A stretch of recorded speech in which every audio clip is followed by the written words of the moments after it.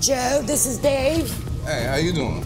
You're gonna see a stampede of people just come parading down the block, right? And they only gonna wonder what the grill master is doing. That's you, see? You're gonna be chilling and grilling. They're gonna be Excuse me, looking at you for their food. Making me a little nervous. First things you say is, hi, welcome to White Castle. Can I take your order? Or hi, can I take your order? Okay. Welcome to White Quarter, White Castle. Can I take your order, please? An order chicken wings. Order what? Chicken rings. That's these. Oh, I thought you said chicken wings. I got no cheeseburger. Cheese only. Cheese only? Yes, sir. One cheeseburger, Who's next? two, three cheeseburgers. Uh, okay, as soon as I find it. Cheese on those? They come with cheese. They're double cheeseburger combo. Oh, I need cheese on the chicken sandwiches. Pardon? With what? Wait, stop, stop, stop, stop. You picked a bad shift for Okay. first night. And a large black coffee my brother. I couldn't hear that. Working a night shift, you really have to be the king of multitasking because you're taking orders, making drinks, handing out food, collecting money. No onions, no pickles. Is that okay? All right, that's no problem. Thank you. Would you like anything to Drink with that. Is that all? Please pull around. This is like this is White Castles. People expect the, the friendly tone and all that. So you don't have to be all formal with it. Just be polite with it. Like check this out. Okay, so you got a sack of fries, a five-piece cheese stick, and six cheeseburgers plain. You need anything to drink with that? Yeah, that'll be it. All right, it's gonna be ten dollars and forty-three cents. All right, thank you. Take that. Straws in the bag. There you go. Y'all have a nice evening. You have a great evening. Take it easy, man. Okay, they got a credit card. Okay, use the machine right here. You select your payment option first, then swipe your card. Matter of fact, I'll handle that for you.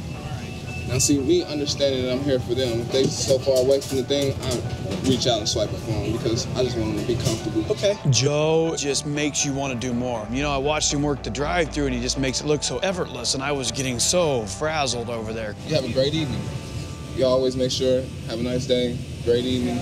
It's people like Joe that I think epitomize what my great-grandfather was talking about. All right, what you did on the drive-through, there's no way I can do that. It takes a special type of person to handle drive-through. I was getting flustered just with one order.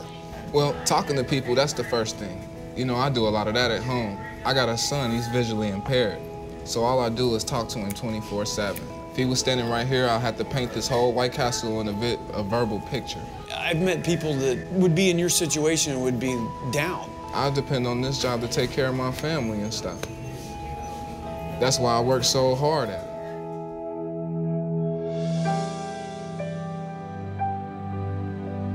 The highlight of my whole experience so far has been Joe. He's just got this attitude that just pulls you up to his level. We got to do something to help this young man fully utilize his skills. We all need to try to be more like Joe. Joe, people like you are why we are so successful. You epitomize what we want as part of our extended family. And what I would like to do is I want to create a program called Leaders for Tomorrow. And I would like to ask you to help us write the curriculum. I would also like for you to be part of the first class of that program. What do you think? I'm honored. Um, I'm, I'm so touched. Like, I'm trying to get myself together. I can't believe this. I would love to do it. I'm not done. The other thing we want to do, Joe, is we want to give you $5,000 towards needs for your son. I just never thought when I started at White Castle that there would be these type of opportunities out there for me. This will help me do a lot of things for my family that I didn't think was possible just working at White Castle, you know. Joe, don't lose that focus, man. Thank you. Thank you. Hey, Jordan. Buddy, we going to the toy store. My Castle is hooking you up.